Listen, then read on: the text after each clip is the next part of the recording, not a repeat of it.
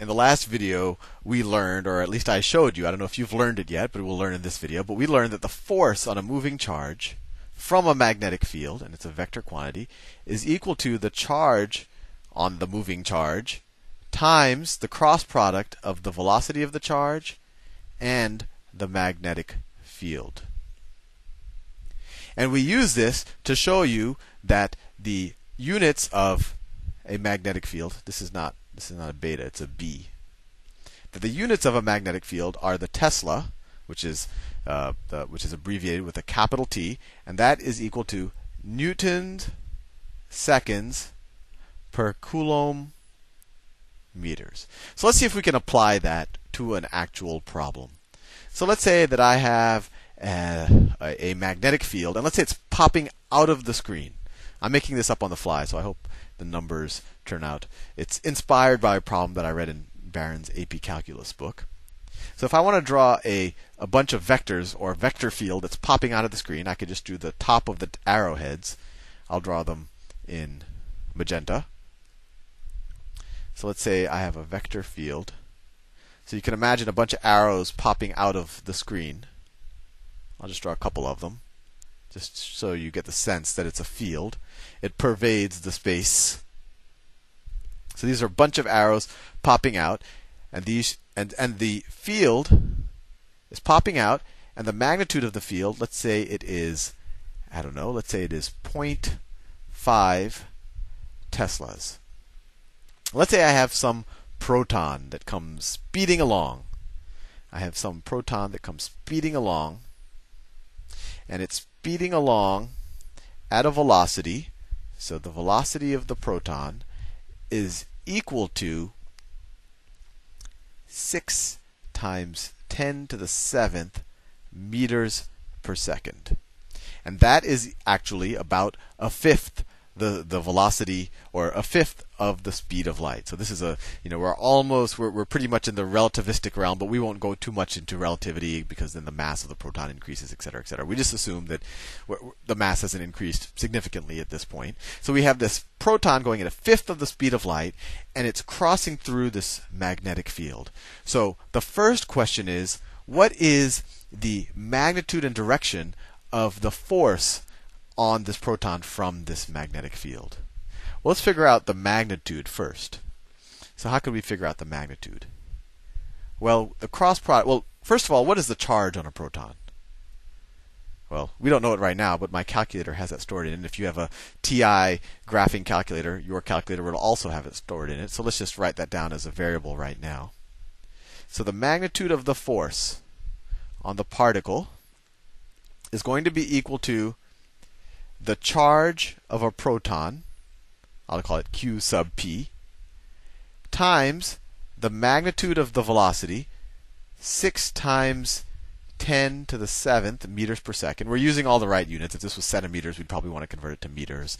Um, 6 times 10 to the 7th meters per second. And then times times the magnitude of the magnetic field, which is 0.5 teslas. I didn't have to write the units there, but I'll do it there. Times sine of the angle between them. Right? I'll write that down right now. Sine of the angle between them. But let me ask you a question. If the magnetic field is pointing straight out of the screen, and you're going to have to do a little bit of three dimensional visualization now, and this particle is moving in the plane of the field, what is the angle between them? If you visualize it in three dimensions, they're actually uh, they're, they're orthogonal to each other. They're at right angles to each other, right? Because these vectors are popping out of the screen. They are perpendicular to the plane that defines the screen, right? While this proton is moving within this plane. So, so the angle between them, if you can visualize it in three dimensions, is 90 degrees, or they're perfectly perpendicular. And when things are perfectly perpendicular, what is the sine of 90 degrees? Or the sine of pi over 2? Either way, if you want to deal in radians. Well, it's just equal to one, right? The whole the whole uh, hopefully intuition you got about the cross product is we only want to multiply the components of the two vectors that are perpendicular to each other.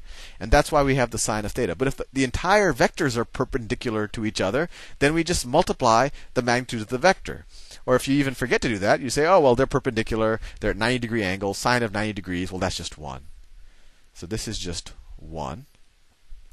So the magnitude of this of, of the force is actually pretty easy to calculate if we know that the charge on a proton. And let's see if we can figure out the charge on a proton. Let me get the trusty TI-85 out. And actually, I, I well, let me clear there just so you can appreciate that T85 store. So if you press second and constant, that's second and then the number four, they have a little constant above it. You get their constant functions or their values, and you say the built-in. Oh, I care about the built-in function, so let me press F1.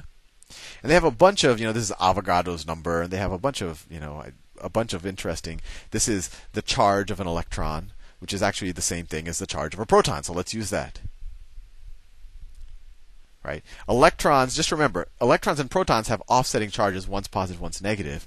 Um, it's just that a proton is more massive. That's how they're different. And of course, it's positive. So let's just confirm that that's the charge of a electron.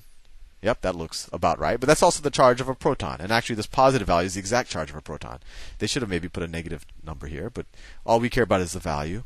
So let's use that again. The charge of electron, and it is positive, so that's the same thing as the charge of a proton, times 6 times 10 to the 7th. 6e7 is just, you just press that EE button on your calculator, times 0.5 Teslas times 0.5 teslas. Make sure all your units are in teslas, meters, and coulombs, and then your result will be in newtons. And you get 4.8 times 10 to the negative 12 newtons. Let me write that down. So the magnitude of this force, right, that was the magnitude. The magnitude of this force is equal to 4.8 times 10 to the minus 12 newtons. So that's the magnitude. Now, what is the direction? What is the direction of this force? Well, this is where we break out our, we put our pens down if we're right-handed, and we we use our right-hand rule to figure out the direction. So what do we have to do? So when you take something cross something, the first thing in the cross product is your index finger on your right hand, right? So let's see. If I and then the second thing is your your middle finger pointed at a right angle with your index finger. So let's see if I could do this. So I want my I want my index finger on my right hand to point to the right, but I want my middle finger to point upwards. So let me see if I can pull that off. Let me see if I can pull that off. So my right hand is going to look something like this. And my hand is brown.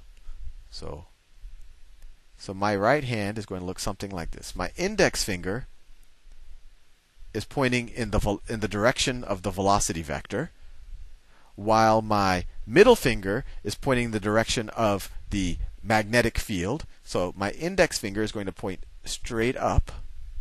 So all you see is the tip of it, and then my other fingers are just going to go like that. And then my thumb is going to do what? My thumb is going to, I have, you know, this is the heel of my thumb. And so my thumb is going to be at a right angle to both of them, so my thumb points down like this. This is often the hardest part, just making sure you get your hand visualization right with the cross product. So, just as a review, this is the direction of V. This is the direction of the, the magnetic field, right? It's popping out. And so if I arrange my right hand like that, my thumb points down. So this is the direction of the force. So as this particle moves to the right with some velocity, there's actually going to be a downward force, especially downward on this plane. So the force is going to move in this direction.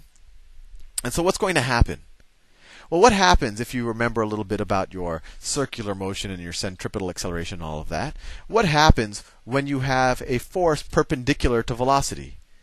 Well, think about it. If you have a force here and the velocity is like that, if the particles, it'll be deflected a little bit to the right. And then, since the force is always going to be perpendicular to the velocity vector, the force is going to charge like that. So the particle is actually going to go in a circle. Right? As long as it's in the magnetic field, the force applied to the particle by the magnetic field is going to be perpendicular to the velocity of the particle. So the so the velocity of the particle. So it's going to actually be like a centripetal force on the particle. So the particle is going to go into a circle. And in the next video, we'll actually figure out the radius of that circle. And just one thing I want to think, let you think about. It, it's, it's, it's kind of, I mean, I don't know. It's, it's kind of weird or spooky to me that, that the force on a moving particle, it, it doesn't matter about the particle's mass. It doesn't. Uh, it just matters the particle's velocity and charge. So it's it's kind of a, a strange phenomenon that the faster you move through a magnetic field, or at least if you're charged, if you're a charged particle, the faster you move through a magnetic field, the more force that magnetic field is going to apply to you.